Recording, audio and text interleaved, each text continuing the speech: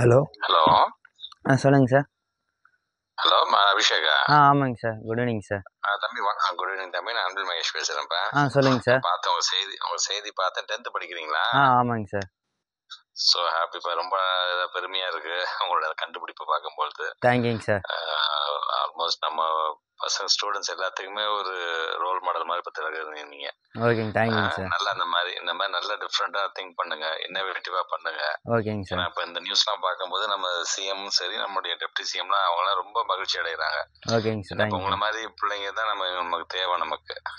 ஓகேங்க சார் நல்லா நல்லா இது படிங்க. நீங்க ஆசைப்படுற மாதிரியே சயின்ஸ் குரூப் எடுங்க லெவன்த்தில் ஓகேங்க சார் நீங்களும் ஏதாவது சஜஷன் சொல்லதா இருந்தாலும் நீங்க சொல்லலாம். என்னென்னலாம் பண்ணலாம் அப்படின்னு சொன்னீங்கன்னா நம்ம வி கேன் டூ தட் இந்த ஸ்கூல் ஓகேங்க சார். சரிப்பா டேக் கேர்ப்பா பேரண்ட்ஸ் எல்லாத்தையும் கேட்டதா சொல்லுங்க. ம், ஆஹ் ஓகேங்க நல்லா சார். பண்ணுங்க. நல்லா படிங்க.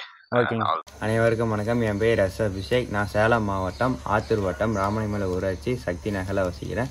எங்கள் அப்பா பேர் செந்தில் எங்கள் அம்மா பேர் சந்திரா. நாங்கள் இயற்கை விவசாயி ஏழை குடும்பம் தான். எனக்கு நான் வந்து அரசா பெத்தனைப்பாளையம் அரசு ஆண்கள் மேல்நிலைப் பள்ளி பத்தாம் வகுப்பு படிக்கிறேன். எனக்கு இங்கே ஸ்கூலுக்கு போகிறதுக்கு பதினஞ்சு கிலோமீட்டர் சரி எங்கள் அப்பாட்ட வண்டி வாங்கிட்டாங்கன்னு கேட்டால் அவங்க வந்து கவர்மெண்ட் ரூல்ஸ் படி பதினெட்டு வயசு கீழே ஓட்டக்கூடாது அப்படின்னாங்க. அதே மாதிரி எங்கள் டீச்சர்ஸும் பதினெட்டு வயசு கீழே டூ வீலர்ஸ் எதுவும் ஓட்டக்கூடாது அப்படின்னு கவர்மெண்ட் ரூல்ஸ் இருக்குது அப்படின்னு சொன்னதுனால நானும் வண்டி வாங்கலை. சரி எங்கள் அப்பா எங்கள் தாத்தா சின்ன இது மோட்ரு வேலை பார்ப்பாங்க. அதனால் பக்கத்தில் உட்காந்து பார்க்கும்போது நம்மளும் எனக்கு ஒரு ஆர்வம் வந்துச்சு. ஏன் நாமளே ஒரு எலக்ட்ரிக் சைக்கிள் ரெடி பண்ணக்கூடாது அப்படின்ட்டு. சரி நாமளே ஒரு சைக்கிள் ரெடி பண்ணலான்ட்டு ரெடி பண்ணேன். இப்போ இது ரெடி பண் இப்போ இது ரெடி பண்ணதுனால எனக்கு ஸ்கூலுக்கும் போயிட்டு வரதுக்கு டைம் கரெக்டாக கரெக்டாக இருக்குது. அதே மாதிரி நல்லா படிச்சிட்டு இருக்கிறேன். இப்போ இதில் யூஸ் பண்ணியிருக்க மோட்ரு பார்த்தீங்கன்னா இரநூத்தி ரெண்டாயிரத்தி எட்நூறு RPM twenty four volt two fifty watts அதுக்கு பேட்ரி என்னதுன்னா twenty four volt twelve ampere battery use பண்ணியிருக்கிறேன் அதே மாதிரி ஃப்யூச்சரில் நான் வந்து டுவெல்த் லெவல்த் டென்த்து முடிச்சுட்டு லெவல்த்து போகிறதுக்கு சயின்ஸ் குரூப் எடுத்து இந்த மாதிரி நிறைய நான் கண்டுபிடிக்கணும். அதான் என் fu- இது ஆர்வம். இது- சைக்கிள் பார்த்தீங்கன்னா இப்போ ஓல்டு சைக்கிள் தான் இதில் எடுத்து ரெடி பண்ணியிருக்கிறேன். அதே மாதிரி திங்ஸ் ஒரு ரெண்டு பேட்ரி மோட்ரு மட்டும் தான் புதுசு. மீதி எல்லாமே பழைய திங்ஸ் வச்சு தான் ரெடி பண்ணியிருக்கிறேன்.